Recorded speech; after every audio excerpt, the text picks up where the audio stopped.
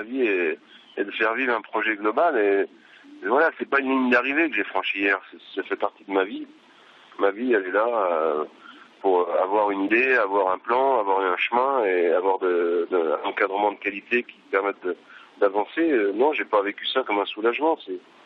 C'est, ça fait partie de la vie d'un manager de, de négocier et, les négociations font que ça prend énormément de temps puisqu'aujourd'hui 15 partenaires font vivre le projet. Évidemment, l'équipe a gagné 22 courses cette année. Évidemment que les résultats le, les ont confortés dans le choix de reconduire.